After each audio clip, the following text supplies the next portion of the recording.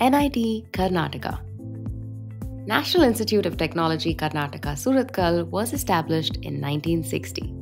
It was formerly named as Karnataka Regional Engineering College or KREC.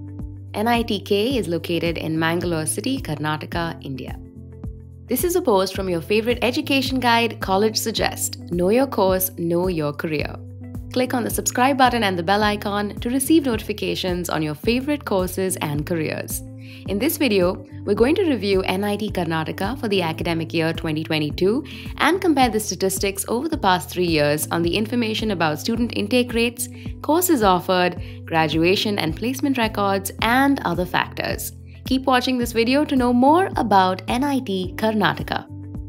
NIT Karnataka ranks at number 1573 in Best Global Universities and number 543 in Best Global Universities in Asia, while it is number 51 under Best Global Universities in India.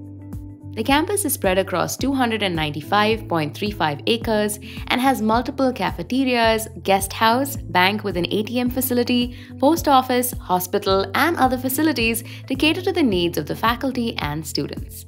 NITK offers 9 UG and 33 PG courses. Now let's take a look at the approved student intake rate for the past 3 years at NIT Karnataka. Here we are presenting the data submitted to the NIRF by NIT Karnataka for 2022. For the UG 4-year program, the intake rate for 2020, 2021 and 2022 has been consistent at 740. For the PG 2-year program, the intake rate in 2021 and 2022 has been 579. The intake rates have been consistent for both UG and PG courses at NITK for the past 3 years. Next, let's take a look at the student stat information. NIT Karnataka accommodates a total of 4,944 students. The percentage of male students sums up to 80.74%, while female students are a total of 19.26%. Out of the total 4,944 students, 1,733 are from within the state, 3,168 are from outside the state, and 43 are from abroad pursuing a degree at NIT Karnataka. Now, let's take a look at the graduation rate for the last three years at NIT Karnataka.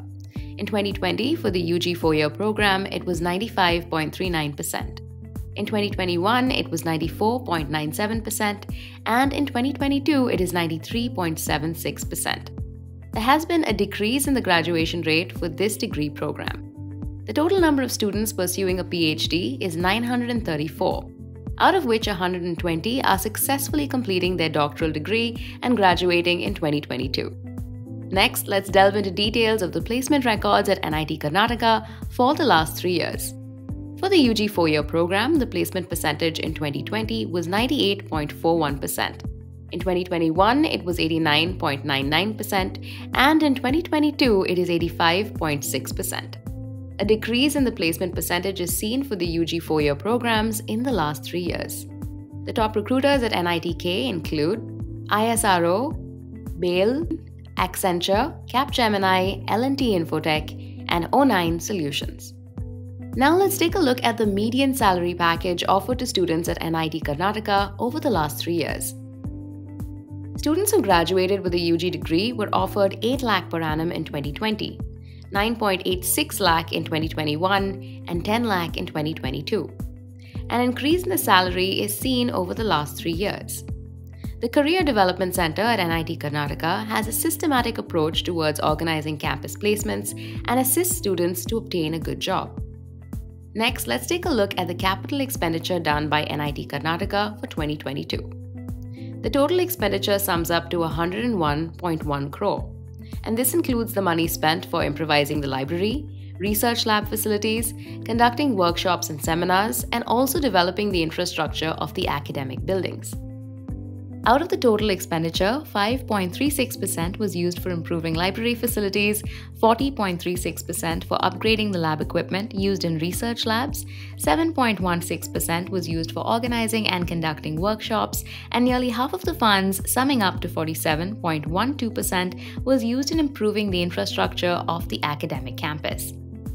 The total capital expenditure done by NIT Karnataka has increased in 2022 compared to 2021 and 2020. Next, let's take a look at the operational expenditure done by NIT Karnataka for 2022. The total operational expenditure includes money allotted for salary towards faculty and other staff members, maintenance of academic facilities, and conducting workshops sums up to 236.76 crore.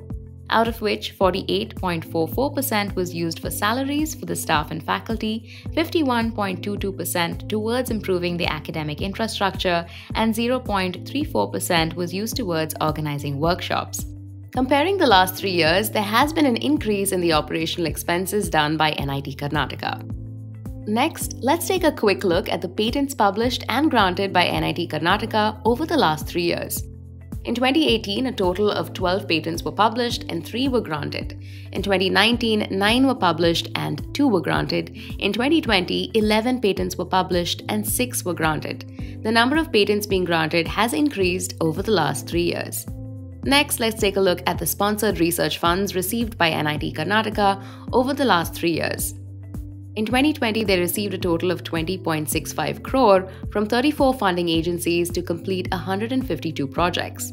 In 2021, a total of 28.49 crore was received from 40 agencies to complete 200 projects. In 2022, a total of 46 crore was received from 29 funding agencies to complete 226 projects.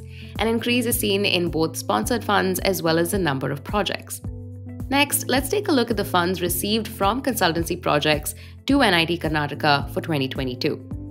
In 2020, a total of 1.64 crore was received from 243 clients to complete 280 projects. In 2021, a total of 8.56 crore was received from 281 clients to complete 316 projects. In 2022, they received a total of 14.81 crore from 337 clients to complete 606 projects. There has been an increase in the total funds received, and also the number of projects has doubled in 2022 compared to 2021 and 2020. Let's now take a look at the faculty data and fee structure details. NIT Karnataka has 329 faculty members in total, out of which 88.45% are PhD holders. The faculty to student ratio is 1 is to 15. The approximate fee for the first semester at NIT Karnataka is 85,815. And the overall cost to complete a degree at NIT Karnataka will be 5,38,750. Please note that the fee structure mentioned is subject to variation. NIT Karnataka has a well equipped library with modern facilities accessible to students and faculty. Institutional Digital Repository is a platform where students and faculty share their recent research, journal articles, and papers. Some of the notable alumni from NITK include KV Kamath, President of BRICS, former Chairman of ICICI Bank, and former Chairman of Infosys. Pramod Madhwaraj, former Minister Government of Karnataka. Sunil Kumar, Provost, John Hopkins University. Audimulapu Suresh, Minister of Education in the Government of Andhra Pradesh. K. Ullas Karanth, Director of Wildlife Conservation Society India Program. Central Research Facility at NITK has been set up with a budget of 80 crore. It has the latest equipment and well developed infrastructure facilities. NITK organizes a summer school on machine learning and deep learning free for students, faculty, and researchers. NITK offers a lot of scholarships, and they are as follows Harshita Chaturvedi Merit Cum Means Scholarship for first year BTech, Lotus Petal Foundation Scholarship, Reliance Foundation Scholarship, Tamil Nadu Scholarship, and others for desiring students. We hope that we've given you all of the insights you need about NIT Karnataka for the academic year 2022. What is the course that you want to pursue next? Tell us. We will provide all of the information you need to make the right decision. If you agree with our analysis, give us a thumbs up. Follow us on Facebook, Twitter, Instagram, and for more information, visit collegesuggest.com.